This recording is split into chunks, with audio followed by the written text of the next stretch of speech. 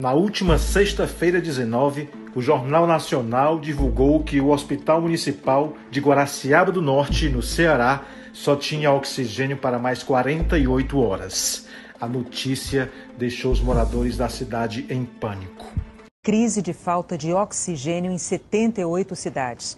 Guaraciaba do Norte, no Ceará, por exemplo, calcula que o oxigênio deva acabar em 48 horas. Os moradores de Guaraciaba do Norte ficaram revoltados. O diretor do Hospital Municipal, José Mário, conta que nunca faltou oxigênio naquela unidade hospitalar. Eu fiquei um pouco revoltado com essa notícia porque criou um pânico generalizado na cidade. Até hoje eu nunca tinha ouvido falar em desabastecimento de oxigênio aqui em Guaraciaba.